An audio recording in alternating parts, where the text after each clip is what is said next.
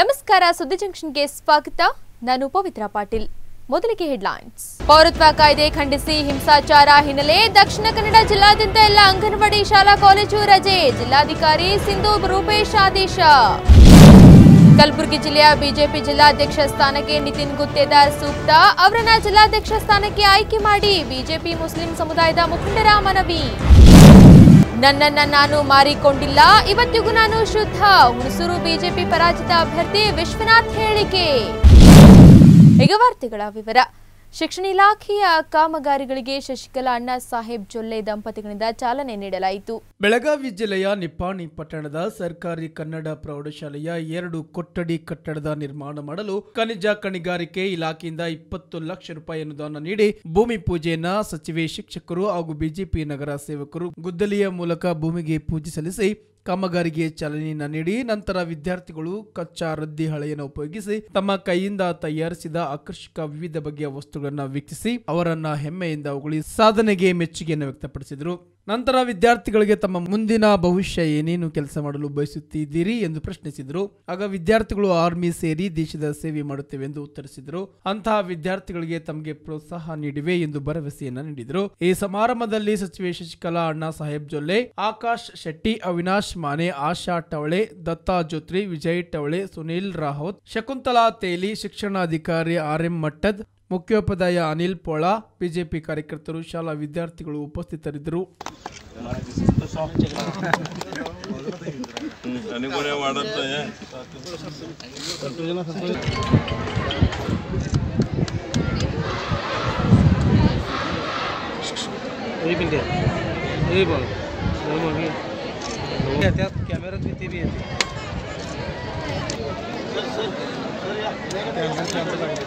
ಅನುಗುಣ ಮಾಡುತ್ತೆ एक मिनिट हे बघ हे बघ हे. त्यात कॅमेरात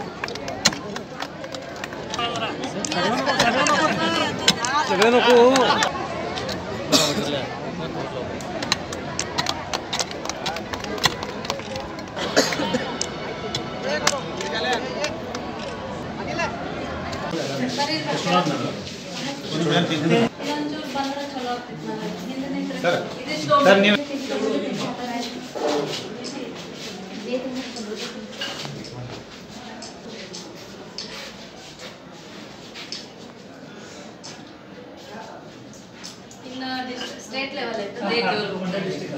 ವಿನಂತಿ ಮಾಡ್ಕೊಂಡ್ರು, ಮೇಡಮ್, ನಾವು ಕಸದಿಂದ ರಸ ಮಾಡಿದೀವಿ ನನ್ನ ಮಕ್ಕಳೆಲ್ಲ ಮಾಡಿದ್ದಾರೆ, ಒಂದ್ ಸ್ವಲ್ಪ ಬಂದು ನೀವು ನೋಡ್ಬೇಕು ಅಂತಂದಾಗ ನಾನು ಅಲ್ಲಿಂದ ಹಂಗೆ ನಾ ರೂಮಲ್ಲಿ ಹೋದಾಗ, ನೋಡ್ರಿ ನ್ಯೂಸ್ ಪೇಪರ್ ಯೂಸ್ ಮಾಡ್ತೀವಿ ಅದನ್ನ ರದ್ದಿ ಅಂತ ಬಿಸಾಕ್ತೀವಿ. ಆ ರದ್ದಿ ಎಲ್ಲೋ ಮಾರಾಟ ಮಾಡ್ತೇವೆ, ಇಲ್ಲಾಂದ್ರೆ ಹರಿದ್ ಚೆಲ್ತೇವೆ, ಇಲ್ಲ ಎಲ್ಲೋ ಒಂದ್ ಕಡೆ ಕೊಡ್ತೇವೆ. ಆದ್ರೆ ಅಂತ ಒಂದು ರದ್ದಿ ಪೇಪರ್ನಿಂದ ಘೋರ್ಪಡೆ ಸರ್ ಅವರು ಮಕ್ಕಳ ಕಡೆಯಿಂದ ಇಷ್ಟು ಒಳ್ಳೆ ರೀತಿಯ ಕಲಾಕೃತಿಗಳನ್ನ ಐಟಮ್ಗಳನ್ನ ಒಂದು ಹ್ಯಾಂಡಿಕ್ರಾಫ್ಟ್ಸ್ ಗಳನ್ನ ಮಾಡಿದಾರಲ್ಲ, ನಾನು ಬಹಳಷ್ಟು ಸಂತೋಷ ಪಟ್ಟು ಇಂತಹ ಮಕ್ಕಳಿಗೂ ಕೂಡ, ಅವರಿಗೆ ರೆಡಿ ಮಾಡಿದಂತ ಘೋರ್ಪಡೆ ಸರ್ ಅವ್ರಿಗೂ ಕೂಡ ನಾನು ಅಭಿನಂದನೆಗಳನ್ನ ಸಲ್ಲಿಸ್ತೀನಿ. ಯಾಕಂದ್ರೆ ಒಬ್ಬ ಶಿಕ್ಷಕ. ಅವನಲ್ಲಿ ಇರ್ತಕ್ಕಂಥ ಕಲೆಯನ್ನ ನಾಲ್ಕು ಮಕ್ಕಳಿಗೆ ಹೇಳಿದಾಗ ಆ ಮಕ್ಕಳದ್ದು ಇನ್ನೂ ಕ್ರಿಯೇಟಿವಿಟಿ ಜಾಸ್ತಿ ಆಗುತ್ತೆ. ಯಾಕಂದ್ರೆ ಅದು ಮಾಡೋದು ಅವರಿಗೆ ಗೊತ್ತಾದ್ಮೇಲೆ ಬರೀ ರದ್ದಿ ಪೇಪರ್ನಿಂದ, ನಾನು ಹಂಗೆ ನೋಡ್ತಾ ಬರ್ಬೇಕಾದ್ರೆ ಅಲ್ಲಿ ಸುತ್ತಳಿ ಸುತ್ತಳಿ ನೋಡಿರ್ಲ. ಸುತ್ತಳಿ ಎಲ್ಲದಕ್ಕೂ ಯೂಸ್ ಮಾಡ್ತೇವೆ ಬಟ್ ಅಲ್ಲಿ ಸುತ್ತಳಿಯಿಂದ ಒಂದು ಬುಟ್ಟಿ ಮಾಡಿದ್ದಾರೆ. ಯಾರು ಅವಳ ಹೆಸರೇನು? ಎರ್ನಾಳ್. ಎರ್ನಾಳದ ಗ್ರಾಮ ಪಂಚಾಯತ್ ವ್ಯಾಪ್ತಿಯಲ್ಲಿ ಬರುವ ವಿವಿಧ ಇಲಾಖೆಗಳ ಅಧಿಕಾರಿಗಳನ್ನ ತರಾಟೆಗೆ ತೆಗೆದುಕೊಂಡ ಕಂಠಾಣ ಗ್ರಾಮ ಪಂಚಾಯತಿಯ ಅಧ್ಯಕ್ಷ.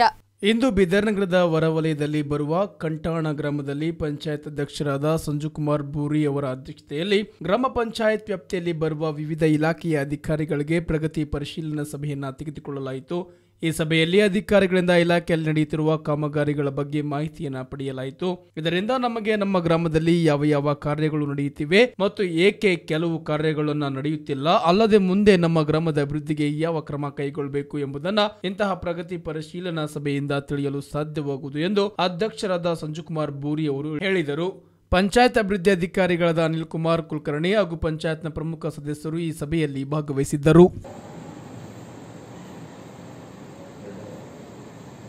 ಆಯಿತು ಟಿಲ್ ಏಪ್ರಿಲ್ ಹಿಡಿದು ಇಲ್ಲಿ ತನ ಹತ್ತು ಹತ್ತು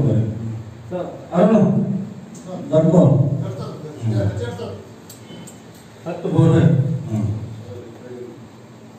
ಎರಡು ತ್ರೀ ಫೇಸ್ ಮೋಟ್ರ್ ಕೊಡ್ಸಿದೆವು. ಎರಡು. ಸಿಂಗಲ್ ಫೇಸ್ ನಾಲ್ಕು. ನಾಲ್ಕು ಸಿಂಗಲ್. ನಾಲ್ಕು ಸಿಂಗಲ್ ಫೇಸ್ ಮತ್ತು ಫ್ಲಶಿಂಗ್ ಎರಡು ಮಾಡಿದೆವು. ಎರಡು ಫೇಸ್ ಇನ್ನ ಆರು ಮೋಟರ್ ಬೇಕಲ್ಲ ಮೋಟರ್ ಹತ್ರ ಕೊಟ್ಟರೆ ಕೊಟ್ಟೆ ಸಿಂಗಲ್ ಪೀಸ್ ಎರಡು ನೀವು ನಿನ್ನ ನಾವು ಅಂದ್ರೆ ಎರಡು ನಾವು ಕುಡಿಸಿದವೋ ಅದಕ್ಕೆ ಬಂದಿಕ್ಕಿದೆವು ಇಲ್ಲ ಇಲ್ಲ ಹಂಗಿಲ್ಲ. ಅದು ಈಗ ನೀವು ನಿಮ್ಮ ಬೇಡಿಕೆ ಮೇಲೆ ನಾವು ಹೊಡೆದಿಂದ ಇರ್ತಾವೆ. ಬೋರ್ವೆಲ್ ಹೊಡಿತೇವೆ ನಮ್ಮಲ್ಲಿ ಮೋಟರ್ ಅದ ಬೋರ್ವೆಲ್ ಬೋರ್ವೆಲ್ ಡ್ರಿಲ್ ಮಾಡಿಕೊಡ್ರಿ ಅಂತಂದು ಈಗ ಅದು ನೀವು ಎಂ ಎಲ್ ಎ ನೀವು ಕೇಳ್ತೀರಿ ನಾ ನಿಮ್ದು ಇದು ತಗೊಂಡೆ ನಾವು ಹೋದ್ರೆ ಆಯ್ತು ಕೊಡ್ಕೊಡ್ರಿ ಹೌದು. ನಮ್ಗೆ ಹಸು ಅದು ನಮಗೆ ಮುಂದೆ ಅದಕ್ಕೆ ನೀವು ಏನೇನು ಸೌಲಭ್ಯ ಮಾಡ್ರಿ ಇಲ್ಲ ಅದೇ ಹೇಳ್ತಿದ್ದೆ. ನೀವು ಹತ್ತು ನಾಲ್ಕು ಸಿಂಗಲ್ ಪೀಸ್ ಮೋಟರ್ ಕೂಡಿಸ್ತೇವೆ ಎರಡು ತ್ರೀ ಪೀಸ್ ಮೋಟರ್ ಕಂಠಾಣ್ ಗ್ರಾಮ ಪಂಚಾಯತ್ ಮರಳು ಸಾಗಿಸುತ್ತಿದ್ದ ಟಿಪ್ಪರ್ ವಾಹನ ಹರಿದ ಹಿನ್ನೆಲೆ ಐವತ್ತೈದು ಕುರಿಗಳು ಮೃತಪಟ್ಟಿ ಹದಿನೈದು ಕುರಿಗಳು ಗಂಭೀರವಾಗಿ ಗಾಯಗೊಂಡಿರುವ ಘಟನೆ ನಡೆದಿದೆ. ಯಾದಗಿರಿ ಜಿಲ್ಲೆಯ ಸುರ್ಪೂರ್ ತಾಲೂಕಿನ ತಿಂತಣಿ ಗ್ರಾಮದ ಸಮೀಪದ ಸೇತುವೆ ಮೇಲೆ ಇಂದು ನಸುಕಿನ ಜಾವ ಘಟನೆ ಜರುಗಿದೆ. ಹುಣಸಗಿ ತಾಲೂಕಿನ ಕಮಲಾಪುರ್ ಗ್ರಾಮದ ಭೀಮಣ್ಣ ಹೊಸಮನಿ ದ್ಯಾಮಣ್ಣ ಹೊಸಮನಿ ಅವರಿಗೆ ಸೇರಿದ ಕುರಿಗಳು ಮೃತಪಟ್ಟಿದ್ದಾವೆ. ಅಂದಾಜು ಆರು ಲಕ್ಷ ರೂಪಾಯಿ ಬೆಲೆ ಬಾಳುವ ಕುರಿಗಳು ಮೃತಪಟ್ಟಿದ್ದಾವೆ. ಟಿಪ್ಪರ್ ಬಿಟ್ಟು ಚಾಲಕ ಪರಾರಿಯಾಗಿದ್ದು ಟಿಪ್ಪರ್ ವಶಪಡಿಸಿಕೊಳ್ಳಲಾಗಿದೆ. ಸ್ಥಳಕ್ಕೆ ಸುರಪುರ ತಹಶೀಲ್ದಾರ್ ಲಿಂಗಣ್ಣ ಬಿರಾದಾರ್ ಭೇಟಿಯನ್ನ ನೀಡಿ ಪರಿಶೀಲನೆ ನಡೆಸಿದ್ದಾರೆ. ಕುರಿ ಸಾಕಾಣಿಕೆ ಮಾಡಿಕೊಂಡು ಜೀವನ ಸಾಗಿಸುತ್ತಿದ್ದ ಕುರಿಗಾಯಿಗಳು ಕುರಿಗಳನ್ನ ಕಳೆದುಕೊಂಡು ಕಣ್ಣೀರು ಹಾಕುವಂತಾಗಿದೆ. ಸತ್ತ ಕುರಿಗಳ ಮುಂದೆ ಕುರಿಗಾಯಿಗಳು ಕಣ್ಣೀರು ಹಾಕಿದ್ದು ಹೃದಯ ಕಲುಕುವಂತಿತ್ತು.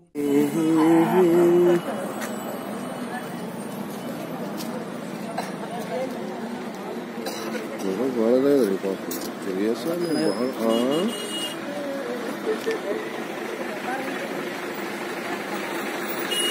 ವನ್ಯಜೀವಿ ಧಾಮದ ಮಡಿಲಿನಲ್ಲಿ ಇರುವ ಕೊಲವಂದರ ಬಳಿ ನಾಯಿಯ ಮೇಲೆ ಚಿರತೆ ದಾಳಿ ಮಾಡಿದ್ದು ರೈತರು ಭಯಭೀತರಾದ ಘಟನೆ ಬುಧವಾರ ಸಾಯಂಕಾಲ ನಡೆದಿದೆ. ಅದು ಎಲ್ಲಿ ಎಂತೀರಾ ಇಲ್ಲಿದೆ ನೋಡಿ.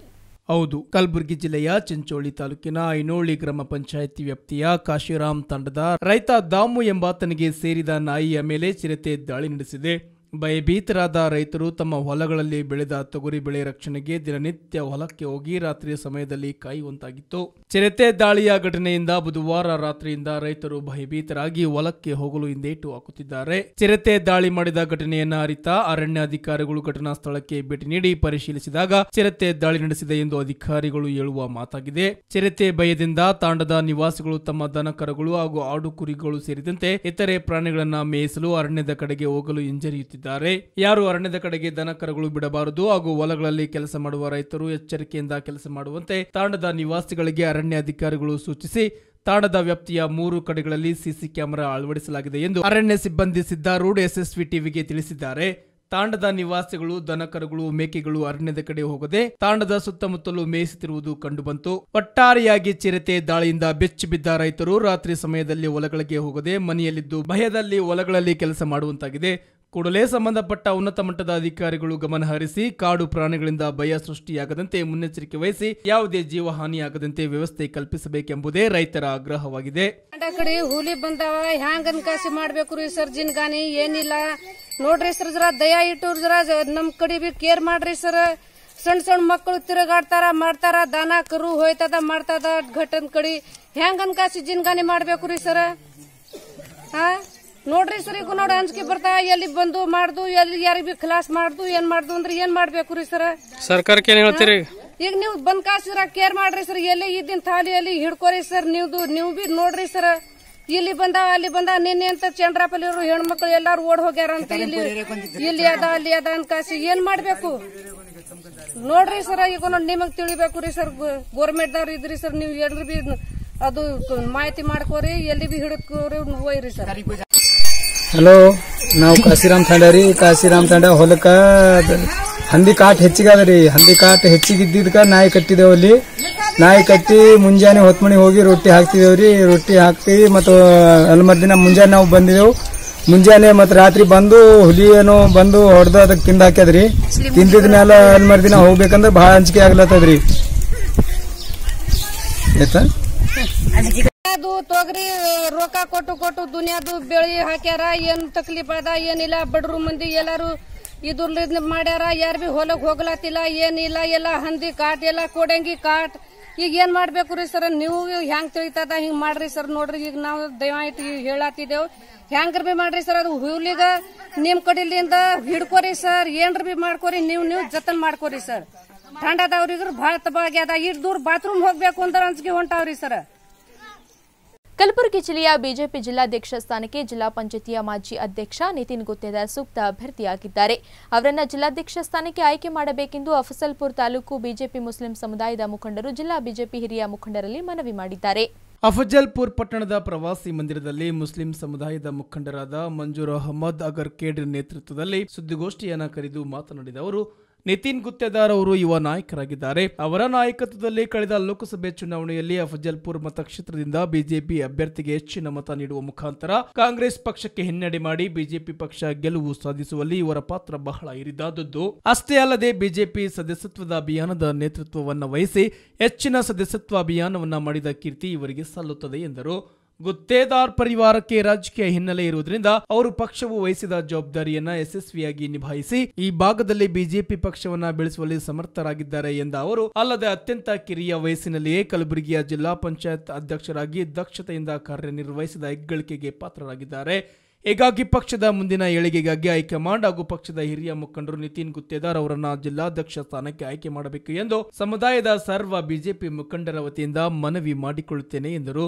ಈ ಸುದ್ದಿಗೋಷ್ಠಿಯಲ್ಲಿ ಮುಖಂಡರಾದ ನಬಿಲಾಲ್ ಮಾಶಾಳ್ಕರ್, ಮಂಜೂರ್ ಅಹಮದ್ ಅಹರ್ಕೇಡ್, ಅನ್ವರ್ ಶೇಖ್, ತನ್ವೀರ್ ಮಣ್ಣೂರ್, ಇಸ್ಮಾಯಿಲ್ ಶೇಖ್, ಖಾಜಾ ಸಾಹೇಬ್ ಮಾಶಾಳ್, ರಫೀಕ್ ಶೇಖ್ ಇತರರು ಇದ್ದರು.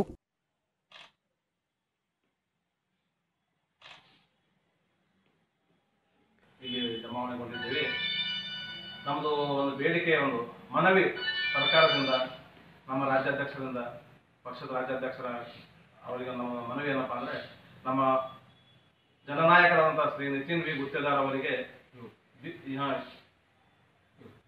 ಯುವ ಜಿಲ್ಲಾ ಅಧ್ಯಕ್ಷರ ಒಂದು ಸ್ಥಾನಕ್ಕೆ ಸೂಕ್ತವಾದ ವ್ಯಕ್ತಿ ಅದಾರ ಅವರು. ಅವರಿಗೆ ಒಂದು ರಾಜಕೀಯ ಹಿನ್ನೆಲೆ ಕೂಡ ಇದೆ. ಇನ್ನೊಂದು ನಮ್ಗೆ ಅಫಜಲ್ಪುರ ತಾಲೂಕದ ಒಂದು ಎಂ ಪಿ ಎಲೆಕ್ಷನ್ ಅವರಿಗೆ ಒಂದು ಉಸ್ತುವಾರಿ ಅವರಿಗೆ ಕೊಟ್ಟಿದ್ರು. ಸುಮಾರು ಮೂವತ್ತೇಳು ಸಾವಿರ ಒಂದು ಲೀಡ್ ತಂದು ಕೊಟ್ಟಿದ್ದಾರೆ ಅವರು. ಅದೊಂದು ಅವರಿಗೆ ಒಂದು ಶ್ರೇಯ ಸಲ್ಲುತ್ತದೆ ಅವರು ಮತ್ತೆ ಇನ್ನೊಂದು ನಾವು ಕೂಡ ಒಂದು ಎಂ ಎಲ್ ಎಲೆಕ್ಷನ್ದಲ್ಲಿ ನಾವೊಂದು ಹತ್ತು ಸಾವಿರ ಓಟ್ ಕಡಿಮೆ ತಗೊಂಡಿದ್ದು ಅದು ಹತ್ತು ಸಾವಿರ ಮೈನಸ್ ಮಾಡಿ ಸುಮಾರು ನಲವತ್ತೇಳು ಸಾವಿರ ಓಟ್ ಆಗ್ತಾವ್ ಮೂವತ್ತು, ಮೂವತ್ತೇಳು ಸಾವಿರ ಪ್ಲಸ್ ಹತ್ತು ಸಾವಿರ, ನಲವತ್ತೇಳು ಸಾವಿರ ಓಟ್ ತಂಗ ನಾವು ಭಾರತೀಯ ಪಕ್ಷಕ್ಕೆ. ಅದಕ್ಕೊಂದು ಇಂಥ ಶ್ರೇಯ ಸಲ್ಲುವಂಥ ವ್ಯಕ್ತಿಗೆ ಒಂದು ಭಾರತೀಯ ಜನತಾ ಪಕ್ಷದ ಅಧ್ಯಕ್ಷತೆ ಒಂದು ನೀವು ಕೊಟ್ಟರಪ್ಪ ಅಂತಂದ್ರೆ ಅದು ಮುಂದಿನ ಮುಂದಿನ ದಿನಗಳಲ್ಲಿ ಪಕ್ಷಕ್ಕೆ ಬಹಳ ಅನುಕೂಲವಾಗುತ್ತದೆ ಮತ್ತು ಇದು ಅಫ್ಜಲ್ಪುರ ತಾಲೂಕು ಏನಂದ್ರೆ ಇದು ಒಂದು ಕಾಂಗ್ರೆಸ್ ಗಡ ಇತ್ತು ಇದೊಂದು ಇದೊಂದು ಭೇದಿಸಿ ಒಂದು ಭಾರತೀಯ ಜನತಾ ಪಕ್ಷದ ಒಂದು ಅರಳಲಿಕ್ಕೆ ಒಂದು ಒಂದು ಬಹಳ ಒಂದು ಒಂದು ಪರಿವಾರದ ಒಂದು ಕೊಡುಗೆ ಬಹಳ ಅನನ್ಯ ಅದ. ಆದ ಕಾರಣ ಇವರಿಗೆ ಇವರಿಗೆ ಜಿಲ್ಲಾ ಅಧ್ಯಕ್ಷ ಸ್ಥಾನ ಕೊಡಬೇಕಂತ ನಮ್ಮೆಲ್ಲ ಅಫಜಲ್ಪುರ ತಾಲೂಕಲ್ಲಿ ಬಿಜೆಪಿ ಪಕ್ಷ ಅಲ್ಪಸಂಖ್ಯಾತ ಮುಖಂಡರದು ಒಂದು ಬೇಡಿಕೆ ಆಗಿದೆ ಅದು ಯಾರು ಮಾತಾಡೋದೇ ಬಿಜೆಪಿ ಪಕ್ಷದ ಗೆಲುವಿನ ಸಾರಥಿ ಕೆಆರ್ಪೇಟೆಯ ನೂತನ ಶಾಸಕ ನಾರಾಯಣಗೌಡರಿಗೆ ಶಿಳನೆರೆ ಹೋಬಳಿಯ ಮಲ್ಕೋನಹಳ್ಳಿ ಗ್ರಾಮದಲ್ಲಿ ಹೃದಯ ಸ್ಪರ್ಶಿ ಸನ್ಮಾನ ಮಾಡಿದರು.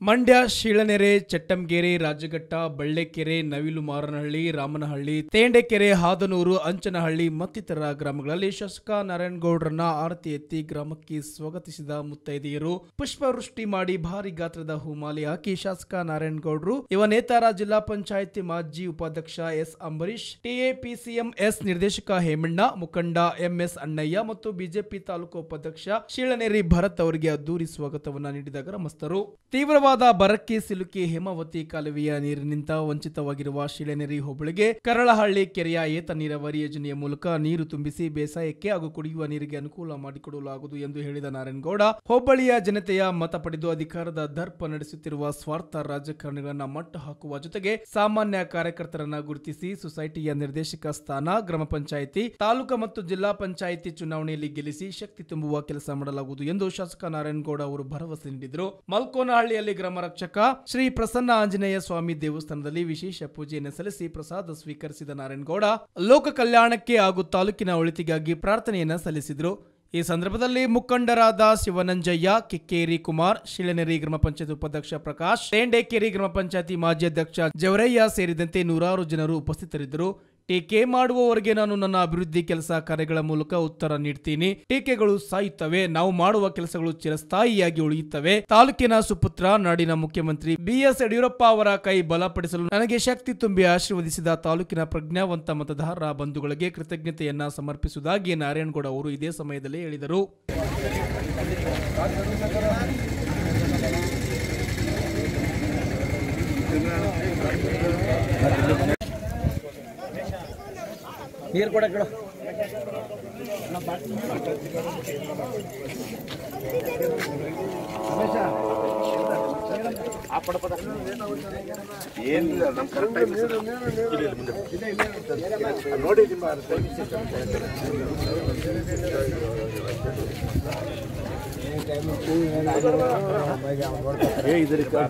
ಹಂಗಲಕನ ನಿಂಗಟ್ಟು ಕೂಗಿನ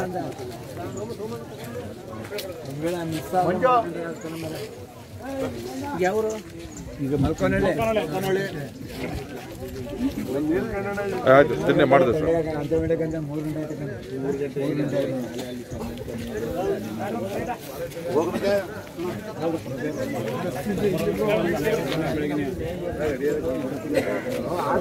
ಏನಮ್ಮ ನೀನು ನಿಮ್ಗೆ ಜಾಗ ಇಲ್ಲ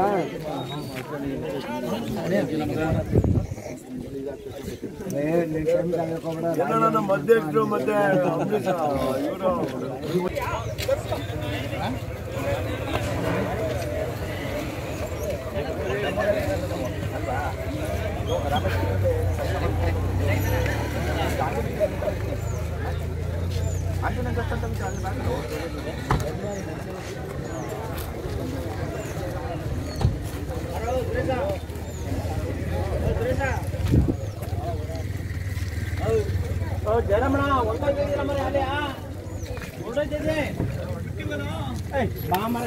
ಇಲ್ಲಿ ಸ್ವಲ್ಪ ಹಂಗೆ ಹಂಗೆ, ಪಕ್ಕ ಒಂದು ನಿಮಿಷ ಒಂದು ನಿಮಿಷ. ಕುಮಾರಣ್ಣ. ಅಲ್ಲಿ ಬನ್ನಿ, ಅಲ್ಲಿ ನಮ್ಮ ಗುರುಗಳು, ಏ, ಅಲ್ಲ ಸುಮ್ಮನೆ ಸರ್, ನನಗೆ.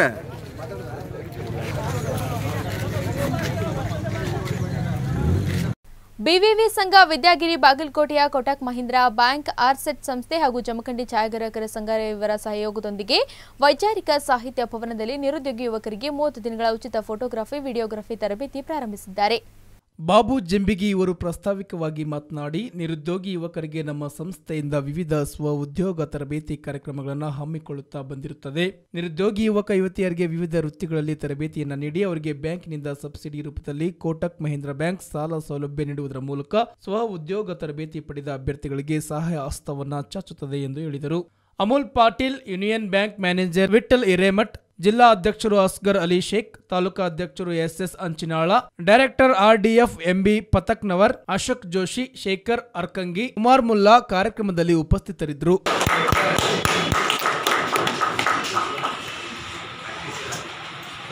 का पैसा रहता है ये जो नेशनल बैंक है प्राइवेट बैंक है कोई बैंक है ये रोल बहुत इम्पोर्टेंट रहता है कि सभी को तो नौकरी नहीं मिलेगी तो बैंक क्या करता है? हमको कैपिटल देता है। कैपिटल का मीन आपको अगर कोई बिज़नेस आपको करना है तो इसके लिए हमारा बैंक आपको फाइनेंस सपोर्ट देता है।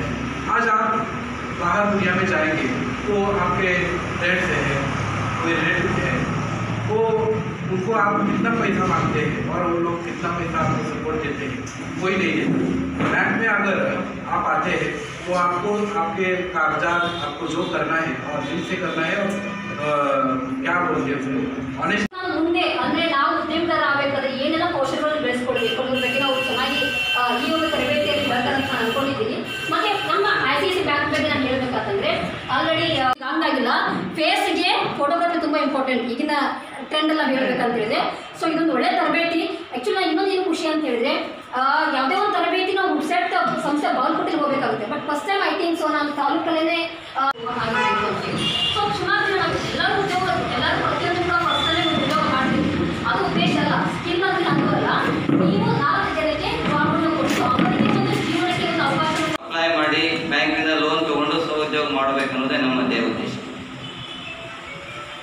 ನಮ್ಮದು ವಿಚಾರ ಏನಂದ್ರೆ ನೀವೆಲ್ಲ ನಿಮ್ಮ ಸ್ವಂತ ಕಾಲ ಮೇಲೆ ನಿಂತು ಬೇರೆಯವರಿಗೆ ಉದ್ಯೋಗ ಕೊಡುವಂಥ ಪ್ರವೃತ್ತಿ ಬೆಳೀತಾ ಬೆಳೀತಾ ಅದ್ರ ಜೊತೆ ಅವನು ಬೆಳೆಸ್ತಾ ಈ ಒಂದು ತರಬೇತಿಯನ್ನು ನಾವು ಇಲ್ಲಿ ಆ, ಮಾಡ್ಬೇಕಂತ ಹೇಳಿ ವಿಚಾರ ಮಾಡಿ ನಿಮ್ಮ ಈ ಅಧ್ಯಕ್ಷರ ಜೊತೆ ನಾವು ಮಾತಾಡಿ ನಮ್ಮ ಜಿಲ್ಲಾ ಅಧ್ಯಕ್ಷರ ಜೊತೆ ಮಾತಾಡಿ ಅವ್ರ ಇವ್ರ ಜೊತೆ ಮಾತಾಡಿ ನಿಮ್ಮಿಂದಲ್ಲ ಮಾಜಿ ಸಚಿವ ಶಾಸಕ ಸಿಎಸ್ ಪುಟ್ಟರಾಜು ಹೇಳಿಕೆಗೆ ಕ್ಯಾರ್ಪೇಟೆಯ ಬಿಜೆಪಿಯ ನೂತನ ಶಾಸಕ ಕೆಸಿ ನಾರಾಯಣಗೌಡ ಸಹಕಾರ ಸಂಘದ ಚುನಾವಣೆಯ ಹಿನ್ನೆಲೆಯಲ್ಲಿ ಬಿಜೆಪಿ ಕಾರ್ಯಕರ್ತರಿಗೆ ಆಯೋಜಿಸಿದ ಪೂರ್ವಭಾವಿ ಸಭೆಯಲ್ಲಿ ಟಾಂಗ್ ಕೊಟ್ಟಿದ್ದಾರೆ. ಶಾಸಕ ಸಿಎಸ್ ಪುಟ್ಟರಾಜು ಅವರಿಗೆ ಲೋಕಸಭಾ ಚುನಾವಣೆಯಲ್ಲಿ ಯಾವ ರೀತಿ ಬಿ ಫಾರಂ ಸಿಕ್ಕಿತು ಎಂಬುದು ನನಗೆ ಚೆನ್ನಾಗಿ ಗೊತ್ತು. ಅವರಿಗೆ ಎಲ್ಲಿಂದ ಸಿಕ್ಕಿತು, ಜಿಲ್ಲೆಯ ಜವಾಬ್ದಾರಿ ಹೊತ್ತವನು ಇದೇ ನಾರಾಯಣಗೌಡ ಎಂಬುದು ಬಹಿರಂಗವಾದ ಸತ್ಯವಾಗಿದೆ. ನಾನು ಮಾಡಿದ ಸಹಾಯವನ್ನ ಮೊದಲು ನೆನೆದು ನಂತರ ನನ್ನ ಬಿ ಫಾರಂ ಬಗ್ಗೆ ಮಾತನಾಡಲಿ. ಜೆಡಿಎಸ್ ಪಕ್ಷದ ಸಂಘಟನೆಗೆ ನಾನು ಏನು ಮಾಡಿದ್ದೀನಿ ಎಂದು ಪುಟ್ಟರಾಜು ಅವರ ಸರ್ಟಿಫಿಕೇಟ್ ಬೇಕಾಗಿಲ್ಲ ಎಂದು ಕೆಆರ್ ಪೇಟೆ ಸಮಾರಂಭದಲ್ಲಿ ನಾರಾಯಣಗೌಡ ಸವಾಲ್ ಹಾಕಿದ್ದಾರೆ. ಕೇಂದ್ರದ ಪೌರತ್ವ ಕಾಯ್ದೆ ವಿರೋಧಿಸಿ ಜಿಲ್ಲೆಯಲ್ಲಿ ಪ್ರತಿಭಟನೆ ವೇಳೆ ನಡೆದ ಪೊಲೀಸ್ ಗುಂಡಿನ ದಾಳಿಯಲ್ಲಿ ಇಬ್ಬರು ಮೃತಪಟ್ಟ ಬೆನ್ನಲ್ಲೇ ಮಂಗಳೂರು ನಗರ ಪೊಲೀಸ್ ಕಮಿಷನರೇಟ್ ವ್ಯಾಪ್ತಿಯಲ್ಲಿ ಡಿಸೆಂಬರ್ ಇಪ್ಪತ್ತೆರಡರವರೆಗೆ ಕರ್ಫ್ಯೂ ಜಾರಿಗೊಳಿಸಿ ನಗರ ಪೊಲೀಸ್ ಆಯುಕ್ತ ಹರ್ಷ ಆದೇಶ ಹೊರಡಿಸಿದ್ದಾರೆ. ಕೇಂದ್ರದ ಪೌರತ್ವ ಕಾಯ್ದೆ ವಿರೋಧಿಸಿ ಮಂಗಳೂರು ಜಿಲ್ಲೆಯಲ್ಲಿ ಪ್ರತಿಭಟನೆ ವೇಳೆ ನಡೆದ ಪೊಲೀಸ್ ಗುಂಡಿನ ದಾಳಿಯಲ್ಲಿ ಇಬ್ಬರು ಮೃತಪಟ್ಟ ಬೆನ್ನಲ್ಲೇ ಮಂಗಳೂರು ನಗರ ಪೊಲೀಸ್ ಕಮಿಷನರೇಟ್ ವ್ಯಾಪ್ತಿಯಲ್ಲಿ ಡಿಸೆಂಬರ್ ಇಪ್ಪತ್ತೆರಡರವರೆಗೆ ಕರ್ಫ್ಯೂ ಜಾರಿಗೊಳಿಸಿ ನಗರ ಪೊಲೀಸ್ ಆಯುಕ್ತ ಹರ್ಷ ಆದೇಶ ಹೊರಡಿಸಿದ್ದಾರೆ. ಮಂಗಳೂರಿನಲ್ಲಿ ಒನ್ ಫಾರ್ಟಿ ಫೋರ್ ಸೆಕ್ಷನ್ ಜಾರಿ ನಡುವೆಯೂ ಪೌರತ್ವ ಕಾಯ್ದೆ ವಿರೋಧಿಸಿ ವಿವಿಧ ಸಂಘ ಸಂಸ್ಥೆಗಳ ಕಾರ್ಯಕರ್ತರು ಗುರುವಾರ ಪ್ರತಿಭಟನೆ ನಡೆಸಿದ್ರು. ಹೋರಾಟದ ಸ್ವರೂಪ ಹಿಂಸಾಚಾರಕ್ಕೆ ತಿರುಗುತ್ತಿದ್ದಂತೆ ಪೊಲೀಸರು ಲಾಠಿ ಚಾರ್ಜ್ ಮಾಡಿದ್ರು. ಇಷ್ಟಾದರೂ ಪರಿಸ್ಥಿತಿ ಹತೋಟಿಗೆ ಬರದ ಪರಿಣಾಮ ಕರ್ಫ್ಯೂ ಜಾರಿ ಮಾಡಿ ಕಂಡಲ್ಲಿ ಗುಂಡು ಆದೇಶ ಜಾರಿಯಾಗುತ್ತಿದ್ದಂತೆ ಇಬ್ಬರ ಮೇಲೆ ಪೊಲೀಸರು ಗುಂಡು ಹಾರಿಸಿದ್ದಾರೆ ಎನ್ನಲಾಗಿದೆ. ಘಟನೆಯಲ್ಲಿ ಇಬ್ಬರು ಮೃತಪಟ್ಟಿದ್ದಾರೆ. ಈ ವಿಷಯ ಸಾಮಾಜಿಕ ಜಾಲತಾಣದಲ್ಲಿ ಹಬ್ಬುತ್ತಿದ್ದಂತೆ ಪ್ರಚೋದನಾಕಾರಿ ಪೋಸ್ಟ್ಗಳ ಸಂಖ್ಯೆಯು ಹೆಚ್ಚಾಗಿದ್ದು, ಕಾನೂನು ಸುವ್ಯವಸ್ಥೆ ಹತೋಟಿಗೆ ತರಲು ಎರಡು ದಿನಗಳ ಕಾಲ, ಅಂದರೆ ಗುರುವಾರ ರಾತ್ರಿ ಹತ್ತು ಗಂಟೆಯಿಂದ ಮುಂದಿನ ನಲವತ್ತೆಂಟು ಗಂಟೆಗಳ ಅವಧಿಯವರೆಗೆ ದಕ್ಷಿಣ ಕನ್ನಡ ಜಿಲ್ಲೆಯಾದ್ಯಂತ ಇಂಟರ್ನೆಟ್ ಸೇವೆ ಸ್ಥಗಿತಗೊಳಿಸುವಂತೆ ರಾಜ್ಯ ಗೃಹ ಇಲಾಖೆ ಆದೇಶಿಸಿದೆ. ಮಂಗಳೂರು ನಗರ ಪೊಲೀಸ್ ಕಮಿಷನರೇಟ್ ವ್ಯಾಪ್ತಿಯಲ್ಲಿ ಡಿಸೆಂಬರ್ ಇಪ್ಪತ್ತೆರಡರವರೆಗೆ ಕರ್ಫ್ಯೂ ಜಾರಿಗೊಳಿಸಿದ ಕಾರಣ ಬಸ್ ಸಂಚಾರ ಸ್ಥಗಿತಗೊಂಡಿದ್ದು ಖಾಸಗಿ ಸರ್ಕಾರಿ ಬಸ್ ಸೇವೆ ಇರುವುದಿಲ್ಲ. ನಗರ ವ್ಯಾಪ್ತಿಯ ಅಂಗನವಾಡಿ ಕೇಂದ್ರ, ಸರ್ಕಾರಿ ಅನುದಾನಿತ ಮತ್ತು ಖಾಸಗಿ ವಿದ್ಯಾಸಂಸ್ಥೆಗಳಿಗೆ ಐಟಿಐ ಡಿಪ್ಲೊಮಾ ವೃತ್ತಿಪರ ಕೋರ್ಸ್ ಹಾಗೂ ಪದವಿ ವಿದ್ಯಾರ್ಥಿಗಳಿಗೆ ರಜೆ ಘೋಷಿಸಲಾಗಿದೆ. ಮದ್ಯದಂಗಡಿ ಬಂದ್ ಮಾಡುವಂತೆ ಸೂಚಿಸಲಾಗಿದೆ. ಮಂಗಳೂರು ನಗರ ಸಂಪೂರ್ಣ ಸ್ತಬ್ಧಗೊಂಡಿದ್ದು ನಗರದಾದ್ಯಂತ ಪೊಲೀಸ್ ಸರ್ಪಗಾವಲು ಹಾಕಲಾಗಿದೆ.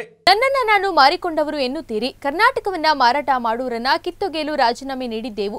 ಇವತ್ತಿಗೂ ವಿಶ್ವನಾಥ್ ಶುದ್ಧವಾಗಿದ್ದಾನೆ ಎಂದು ಉಪಚುನಾವಣೆಯ ಬಿಜೆಪಿ ಪರಾಜಿತ ಅಭ್ಯರ್ಥಿ ಎಚ್. ವಿಶ್ವನಾಥ್ ಹೇಳಿದ್ದಾರೆ.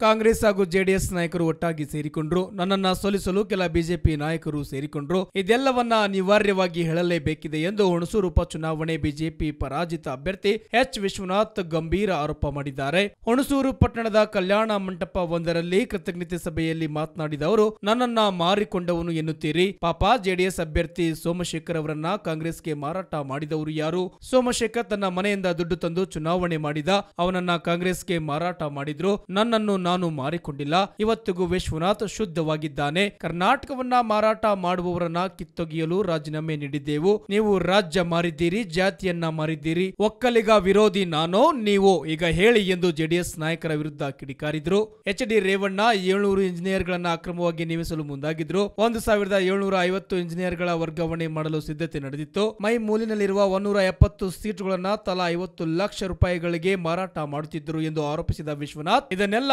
ತಪ್ಪಿಸುವ ಸಲುವಾಗಿ ನಾವು ರಾಜೀನಾಮೆ ನೀಡಿದೆವು ಎಂದು ಹೇಳಿದರು. ನಾನು ಸೋತಿರಬಹುದು, ಆದರೆ ನೊಂದುಕೊಳ್ಳಬೇಕಿಲ್ಲ. ಕೇಂದ್ರದಲ್ಲಿ ನರೇಂದ್ರ ಮೋದಿ, ರಾಜ್ಯದಲ್ಲಿ ಬಿಎಸ್ ಯಡಿಯೂರಪ್ಪ ನೇತೃತ್ವದ ಸರ್ಕಾರ ಇದೆ. ಅಭಿವೃದ್ಧಿಗೆ ಬೇಕಾದ ಕೆಲಸ ಮಾಡೋಣ. ಜನತಂತ್ರದಲ್ಲಿ ಧ್ವನಿಗೆ ವಿಶೇಷ ಸ್ಥಾನವಿದೆ. ಗೆದ್ದವರು ಸೋತವರ ಧ್ವನಿ ಅಡಗಿಸಲು ಅವಕಾಶ ಇಲ್ಲ. ನಮ್ಮ ಧ್ವನಿ ಅಡಗಿಸಲು ಯಾರಿಂದಲೂ ಸಾಧ್ಯವಿಲ್ಲ ಎಂದರು.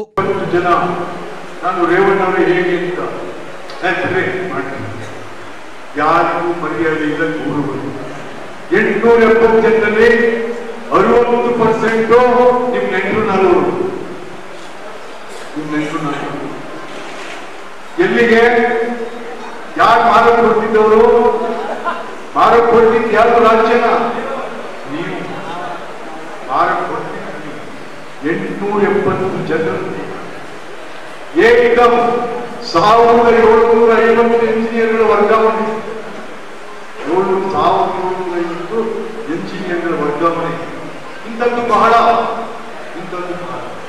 ಕರ್ನಾಟಕ ರಾಜ್ಯವನ್ನ ಮಾರಾಟಕ್ಕೆ ನಿಂತಿದ್ದವನ್ನ ಹೊರಗೆ ಕಳಿಸಿ ಯಾವ ಸರ್ಕಾರ ಜನವಿರೋಧಿಯಾಗಿತ್ತು ಯಾವ ಸರ್ಕಾರ ಶೋಷಿತ ಸಮುದಾಯಗಳು ಸಣ್ಣ ಪುಟ್ಟ ಜನಗಳ ವಿರೋಧಿಯಾಗಿತ್ತು ಅದನ್ನ ಕೆಳಗಿಳಿಸುವುದರ ಮೂಲಕ ನಾವು ಈ ಕರ್ನಾಟಕ ರಾಜ್ಯದಲ್ಲಿ ಒಂದು ಹೊಸ ಶಕ್ತಿಯನ್ನು ಪ್ರಾರಂಭ ಮಾಡಿದ್ರು ಇಡೀ ಭಾರತದಲ್ಲಿ, ರಾಜಕೀಯ ಇತಿಹಾಸದಲ್ಲಿ ಇಂಥ ಒಂದು ದೊಡ್ಡ ಕಾರ್ಯಕ್ರಮ ಒಂದು ಸರ್ಕಾರವನ್ನು ಪತನ ಮಾಡಿದ್ದು ಇದಾಗಿತ್ತು ಸುದ್ದಿ ಜಂಕ್ಷನ್ ಹೀಗೆ ನೋಡ್ತಾ ಇರಿ.